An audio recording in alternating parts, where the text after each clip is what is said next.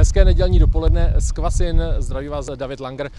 V sobotu začala celorepubliková akce Ukliďme Česko, ukliďme svět a tak eh, do této akce se zapojí po celé republice desítky tisíc lidí. Jarní úklid čeká spoustu luk, spoustu lesů, ale taky třeba cest a okolí po příkopech. No a nejinak tomu bude i tady v Kvasinách na Rychnovsku, kde eh, v tuto chvíli už vyrazili lidé do terénu, dobrovolníci vyrazili do terénu a já se ptám eh, nyní ředitele výrobního závodu Jiřího Černého, proč se zapojila Škoda Auto. Dobrý den, pane řediteli. Dobrý den, no my to děláme rádi. my to děláme rádi.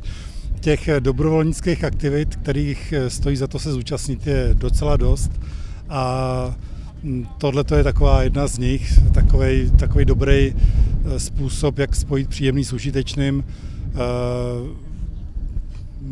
strávit ten den venku na sluníčku a zároveň to tady okolo, okolo závodu, ale nejenom okolo závodu uklidit.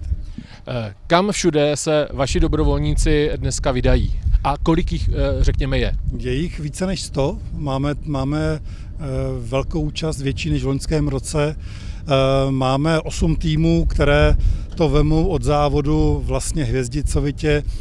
Těch 8 skupin jde směrem do Rychnova okolo cyklostezky, směrem k Hrabenčinu lesu, směrem k zámku, takže máme takových 8 tras a, a jdeme vlastně po celém tomhletom okolí. Mhm, dobře, děkuji.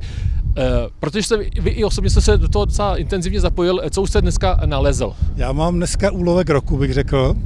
Já mám tady, jestli, jestli vidíte, tuhle tu velkou pneumatiku, kterou jsem našel tady v tom rigolu, takže zatím jsem králem lovu. Tak, já děkuji. Tak, eh, to byl eh, ředitel výrobního závodu Jiří Černý a v loňském roce se eh, dobrovolníkům tady v Klasinách podařilo pozbírat v okolí závodu řekněme 400 kg různých odpadků. Mezi jinými odpadky nalezli také zajímavou věc a, a to byl radiátor. No a já už tady mám zástupce společnosti Ukliďme Česko, spolku, který pořádá tuto celorepublikovou akci, Radka Janouška. Pane Nožku, co vy máte, jaké máte očekávání tady v Kvasinách? Dobrý den.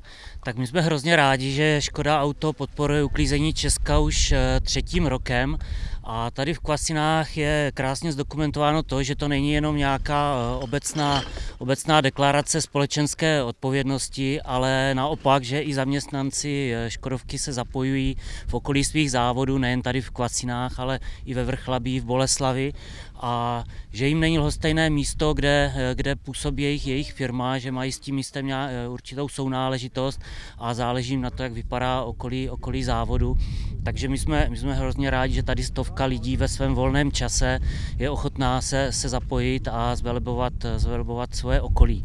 A v neposlední řadě je to i signál pro ostatní firmy a jejich zaměstnance, že ta, ta takováto akce může být třeba zajímavou formou team buildingu a že by se mohli třeba také k uklízení Česka připojit v budoucnu.